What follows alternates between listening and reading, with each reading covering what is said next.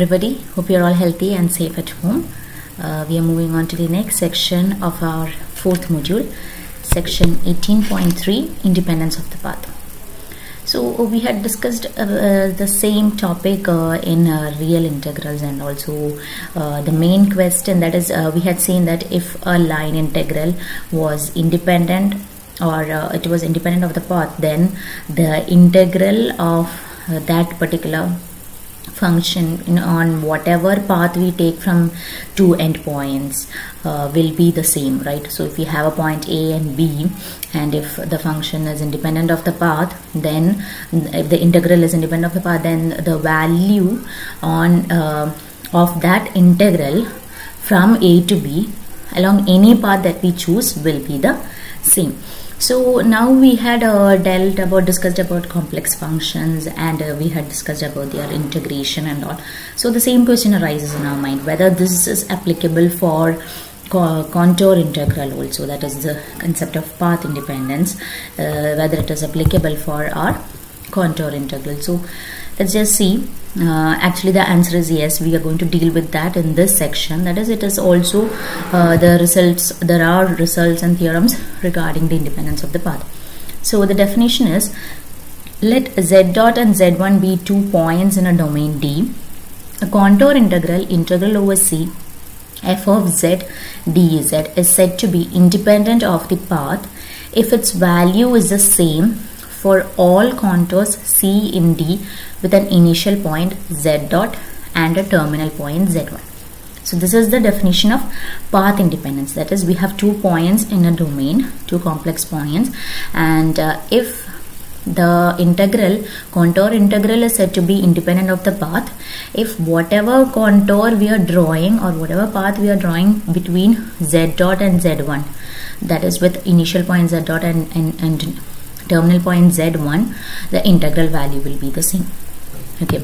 So uh, this is actually uh, it is because of the fact of our Cauchy-Goursat theorem. We related to that.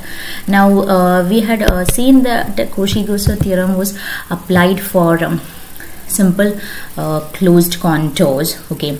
But in the end of that section we had also stated that it is applicable for uh, just closed contours. It need not be simple. So if we have uh, you can see figure 18.3.1 there are two points. D is our domain and we have two points z dot and z1 okay and our curve is c.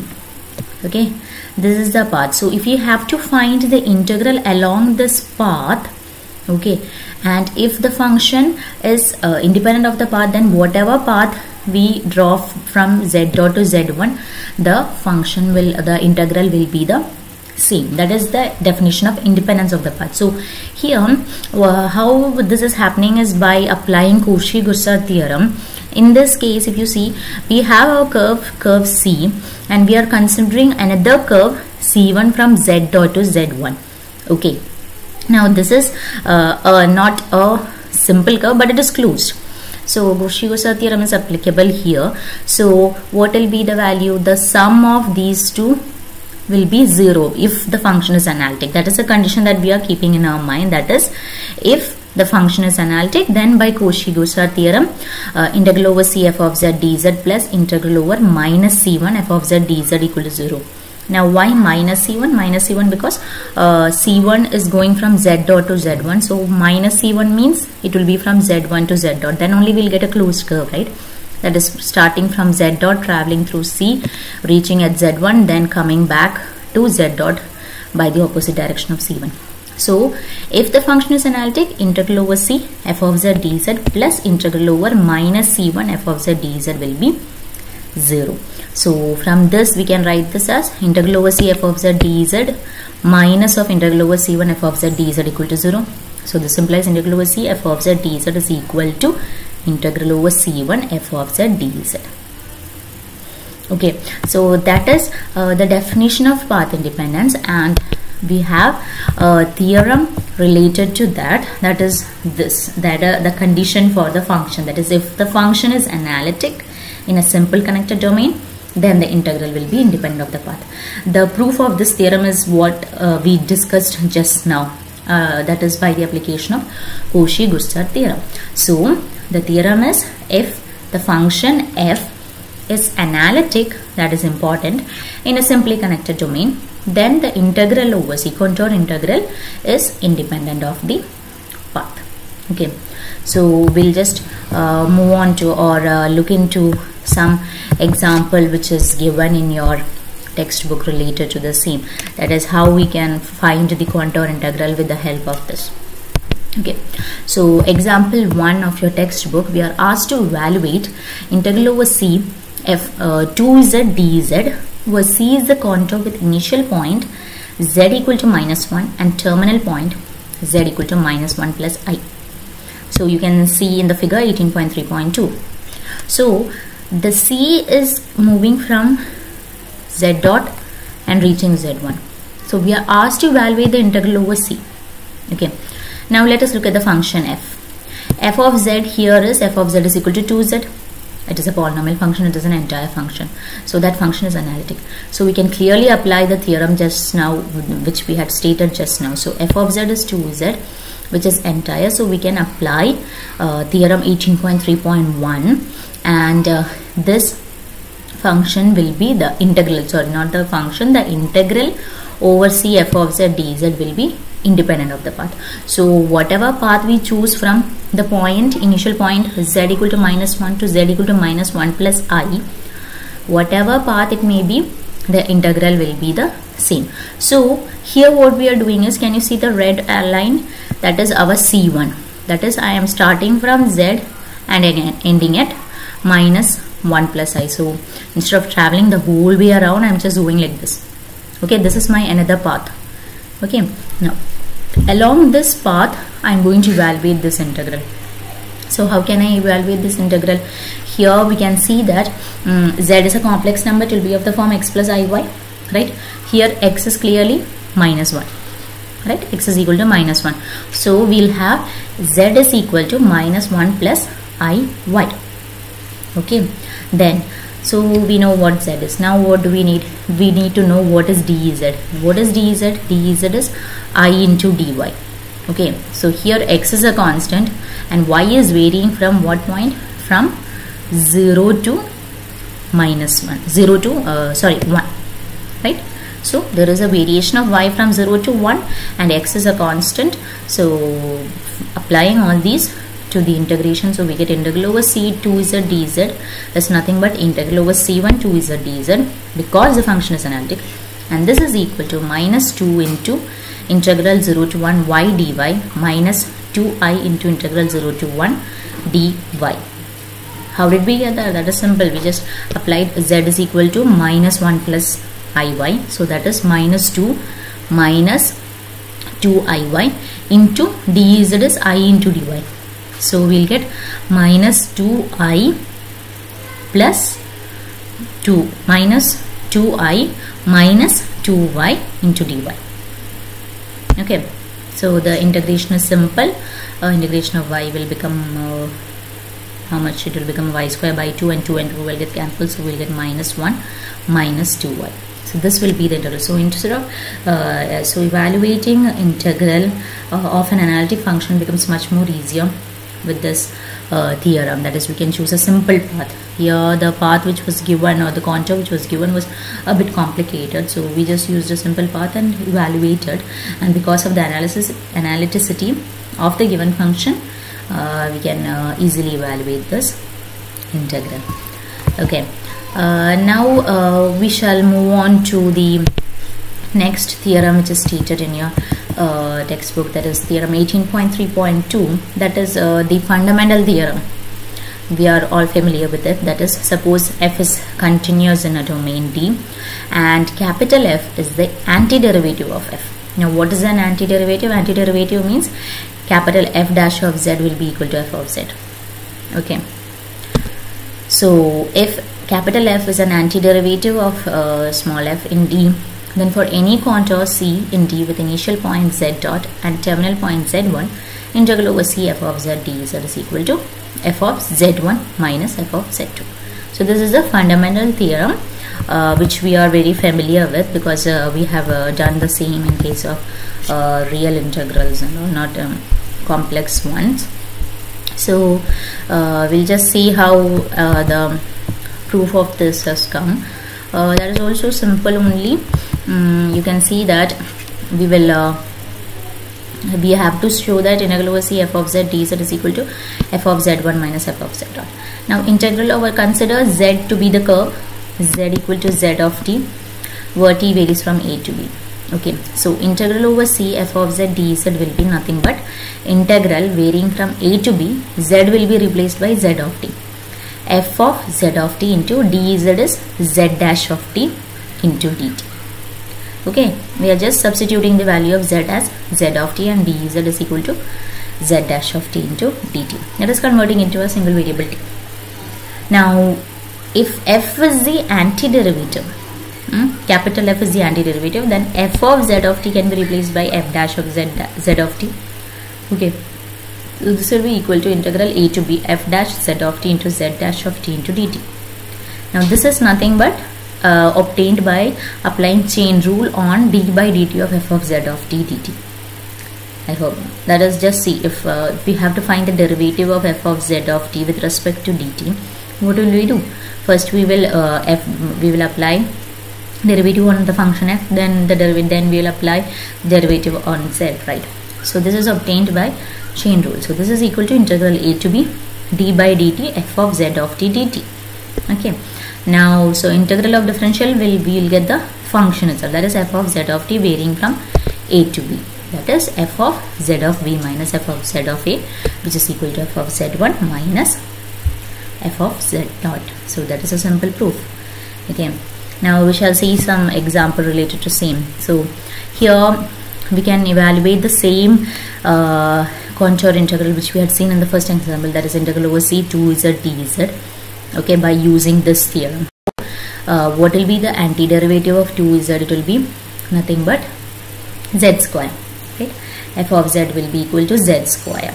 So here integral over minus 1 to minus 1 plus i that was what we had to determine 2z into dz this will be nothing but z square varying from minus 1 to minus 1 plus i that is minus 1 plus i whole square minus of minus 1 square which is equal to minus 1 minus 2i so when we are applying or learning more new new theorems the valuation of the contour integral is getting much more easier. So the same integral we had evaluated in the first example using the concept of independence of path that is choosing a different path other than the contour which was given to us and uh, which was much more simpler and we evaluated the integral.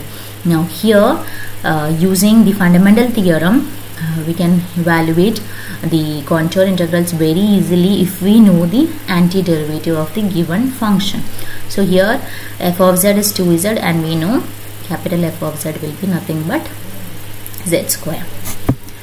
Now there is another example related to the same thing that is um, we are asked to evaluate integral over c cos z dz. Now cos z dz with initial point z equal to 0 and terminal point 2 plus i. Now we know the antiderivative of cos z is sin z. So we can simply just evaluate this in a simple manner. Sin z is uh, sine of so this integral will be equal to sine of 2 plus i minus sine of 0 sine 0 is 0 itself so that is sine of 2 plus i now the evaluation uh, you can write this in the complex form like a plus ib if you want to which we have done in the earlier sections so that was how we did how we evaluate an integral with the help of the fundamental theorem. Now there are two uh, important points or important statements that I have uh, I need you guys to keep in your mind. Uh, with this we will be uh, moving on to the next theorem. Uh, the first one is if a continuous function f has an antiderivative then the contour integral is independent of the okay if a continuous function has an antiderivative then the contour integral is independent of the path. Now uh, the sufficient condition is as follows. If the function is continuous and the integral is independent of the path then f has an antiderivative. Okay this is like if and only if condition. So keep in mind function should be continuous and the antiderivative should exist then the integral will be independent of the path. And if the function is continuous and the integral is independent of the path then the function will definitely have a contour uh, sorry uh, it will have an anti-derivative so now we'll move on to the last theorem of uh, this section that is theorem 18.3.3 that is if f is analytic in a simple connected domain okay then f has an antiderivative in d okay that is always happening. That is there exists a function capital F such that f dash of z is equal to f of z for all z and d. So the only condition for the existence of antiderivative is that the function must be analytic. Okay if the function is analytic then clearly it is continuous right?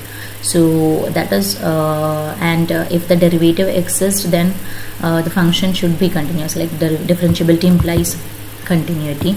So uh, with uh, this concept the necessary condition for our uh, function to have an antiderivative is that the function must be analytic. Now uh, what we are going to discuss here is one important point that you have to keep in mind that we will see with the help of an example uh, which is given in your textbook. That is uh, related to the logarithmic function. That is we are asked to evaluate integral over c 1 by z dz along the contour c which is shown in the figure. Okay this contour is like x is equal to 3 to y is equal to 2y so this is the contour which is given to us. Okay. Now if we are uh, considering the domain to be the upper half plane i mean the uh, only the portion where the real part and the imaginary part are positive.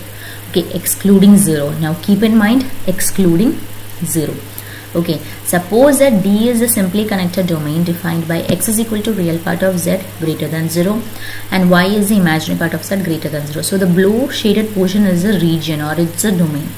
Okay that is the domain. Now remember we have eval or we have removed the axes right? So the point 0 is not here. So in this case we can say that the function 1 by z is analytic everywhere right? Yeah because if z was z equal to 0 is a point in the given domain then in that case this function is not analytic. And we won't be able to use our fundamental theorem. Here we know that log z is the antiderivative of 1 by z right? So since the domain does not contain the point 0 we can evaluate this integral like 3 to 2y 1 by z dz is nothing but log z varying from 3 to 2y it is log of 2y minus log of 3 and we know how to write log of 2y and log of 3 in the given particular form. Okay uh, so uh, the thing that you have to keep in mind is you have to check whether the given function is analytic in the given domain or not. Okay so suppose our domain was uh, like the upper half plane. So the whole portion above this including the x-axis. Then in that case we cannot apply the fundamental theorem because the function given to us is not analytic right? If the function is analytic then the antiderivative will definitely exist over there otherwise that is not possible so uh, when we are given the function 1 by z directly we know the derivative antiderivative is log z but that is uh, we must keep in mind the domain uh, that we have to check whether the function is analytic in the given domain and then you must go on to the antiderivative concept. Now in the previous section we had seen that this integral over c 1 by z dz is nothing but 2 pi i. Okay, uh, so just uh, keep that particular point in your mind. So these in this um, this is the theorem that we had discussed right now that is the function is analytic then the antiderivative exists so in this section basically we had discussed three theorems uh, regarding the independence of the path and uh, uh, the uh, concept about that is choosing the antiderivative fundamental theorem. We had discussed about fundamental theorem and uh, the last theorem was about the existence of the antiderivative that the function must be analytic in a simply connected domain so these are the theorems and we had uh, that we had discussed in today's session. So that's it for today's session. Thank you. Stay home and stay safe